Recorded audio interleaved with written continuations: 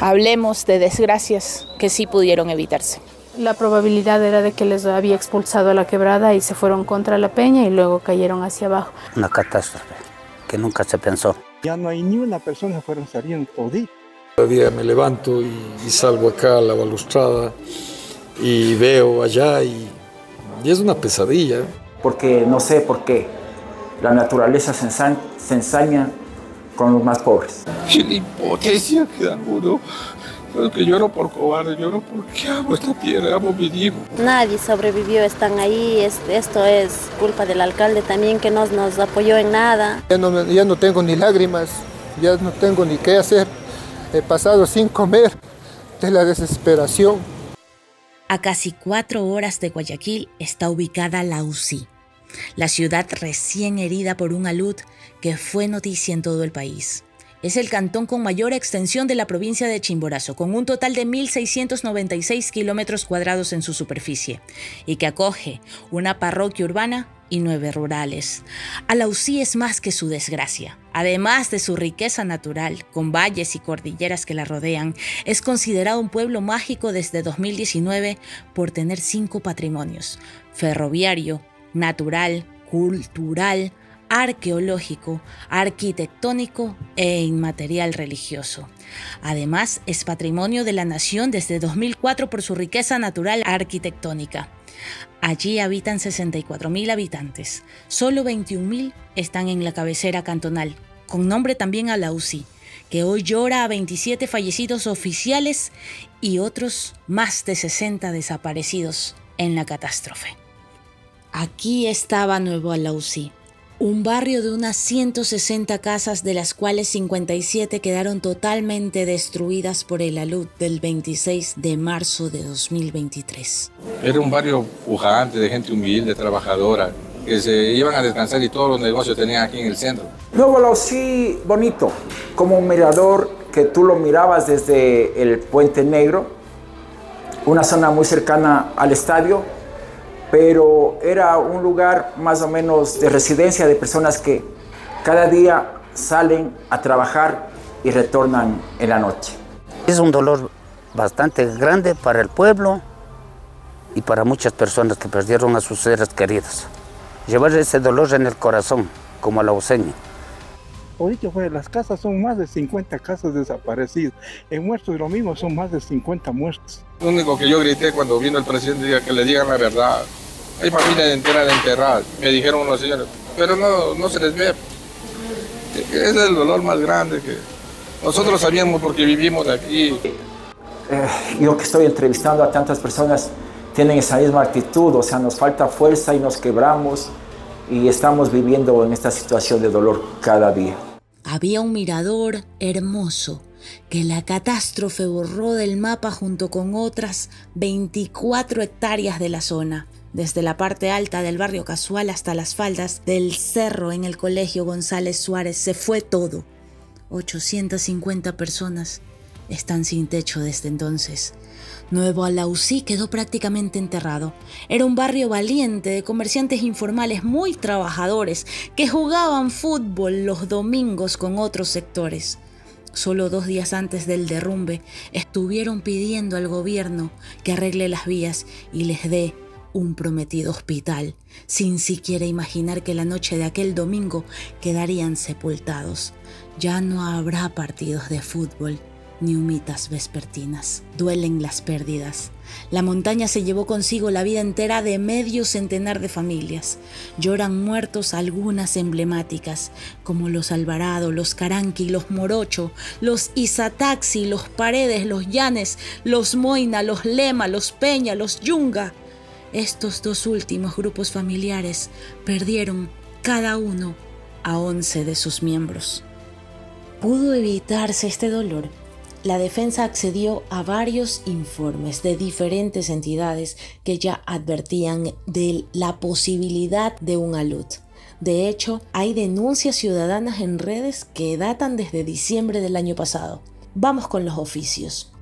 En el 051 y el 106 el municipio de Alausí advertía a inicios de febrero de 2023 sobre la presencia de grietas en la carretera panamericana en el tramo E35. Ese mes, entre el 15 y el 17 de febrero, el Servicio Nacional de Gestión de Riesgos realiza una inspección de campo y concluye que los sectores Casual y Aiput se encuentran asentados sobre un antiguo coluvial susceptible a movimientos de masa, que el movimiento de masa se encuentra en estado activo y que hay presencia de grietas de hasta 21 metros, que el mal aprovechamiento de los recursos hídricos como fuentes de agua para consumo doméstico o riego han saturado el terreno y que no existe alcantarillado en la zona de casual, por lo que los pozos sépticos ya han cumplido su vida útil y también conllevan un riesgo.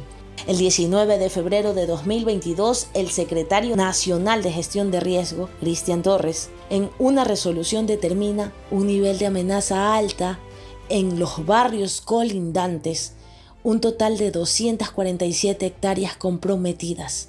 Declara alerta amarilla ese informe incluye a la casi desaparecida Nueva Lausi.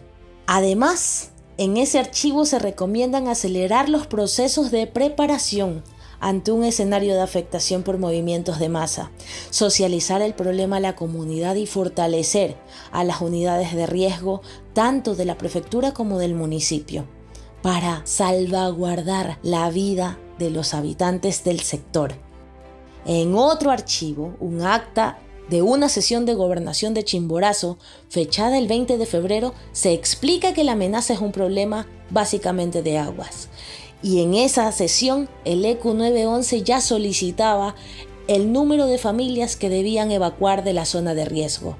En otro oficio del 12 de marzo de 2023, el COE cantonal de Alausí pide al COE provincial la intervención inmediata e implementación de las medidas de mitigación emergentes. Cuatro días después, el GAT notifica en compras públicas la declaratoria de emergencia. Pero no es hasta el 23 de marzo, tres días antes de la LUT, donde sube recién una consultoría para estudios de diseño para la estabilización de taludes. Cuesta 38 mil dólares y aún no se adjudica. A mi criterio, el nivel de alerta debió haber sido naranja. Inmediatamente eh, decretar una evacuación total y global. Lamentablemente, las autoridades locales, porque es competencia exclusiva de acuerdo a la COTAC de ellos, no eh, hacen contar en sus agendas eh, el tema de la transversabilidad del riesgo.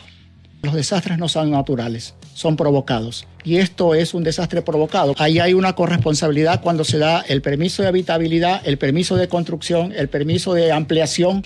Yo observo en las fotos iniciales antes de este desastre que habían buenas casas ahí que ante una ladera inestable eso contribuye a que se pueda deslizar mucho más rápido.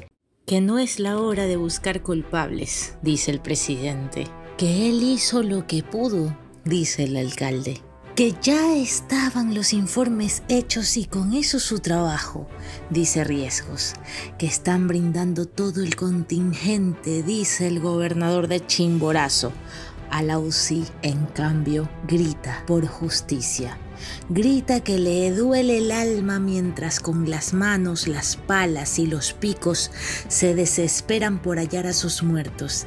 Grita que se le fue un barrio, que los besis ya no llegarán a saludar y que no es justo que se los olvide de esta manera. Con todo y llanto, con todo y dolor, Alausi, ciudad de los cinco patrimonios, no se da por vencida pese a que desde que se le vino la montaña abajo ha debido lidiar además con cortes de agua en varios sectores de hasta seis horas y con un estancamiento económico que los tiene ahogados por el bloqueo de la vía que dejó la emergencia.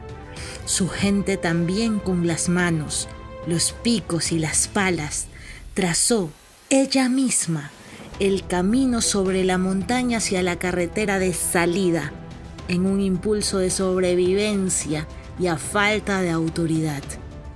Pero su pueblo, su pueblo no olvida la deuda. Yo creo que el gobierno, al venir el presidente acá, creo que adquirió un compromiso con nosotros. Eh, a los responsables habrá que, de oficio, tendrán que pagar sus culpas. Pasamos una pandemia tan dura. Mire, pasamos, nos estamos reactivando. Pasamos de un paro de, de 19 días, durísimo. Aquí el sector indígena muy duro. Pasamos las cenizas, el volcán, duro. Y ahora mire esto. Y esa fue la historia de una catástrofe. De aquí, de Alausí, una ciudad con 200 años de historia y de memoria. Una ciudad que hoy llora a más de 80 personas muertas, que no ha podido enterrarlas de manera adecuada, que las familias aún esperan respuestas y que deja a muchos hogares sin techo. Las autoridades pudieron prever esta desgracia, saquen sus propias conclusiones. Soy Blanca Moncada y esto es La Defensa, donde defendemos la verdad con periodismo.